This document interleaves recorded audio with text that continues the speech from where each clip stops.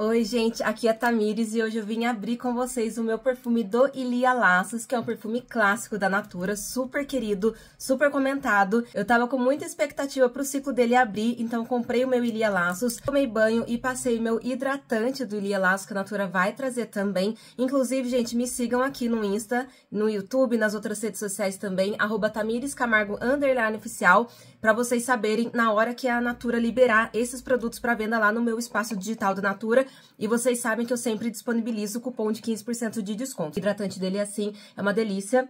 Ai, gente, é maravilhoso, é o mesmo cheiro do perfume. É um hidratante que não ensaboa, que espalha fácil na pele, que hidrata, sabe? Que te deixa super perfumada.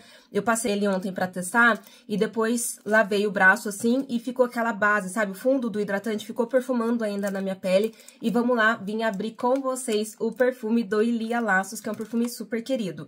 Aqui a classificação dele é um floral intenso com três bolinhas. Comenta aqui se você já conhece o Ilia Laços ou se você também tá na curiosidade de tanto que as pessoas comentam, né, e elogiam esse perfume. Eu não tinha conhecido ele quando ele foi lançado. Conheci ele no evento da Natura, no evento Destaque. Só tava esperando ele liberar para venda para eu comprar. Então ele vem assim na caixa. A caixa é dourada com um tom meio avermelhado, inclusive vinha aqui no look já para combinar com o Ilia Laços. Ó, vem com cartucho, a Natura arrasa, coloca o cartucho no perfume pra proteger. Olha que lindo! Ilia Laços. O frasco dele é bem parecido com a caixa. Tem a tampa meio caramelo, meio dourado. E aqui tem um degradê meio rosado, alaranjado.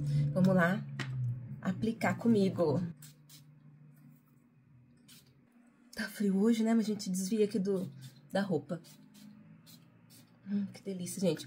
Ele tem um cheiro floral, bem floral, assim, floral mais adulto. É, ele tem uma fragrância um pouco achicletada também.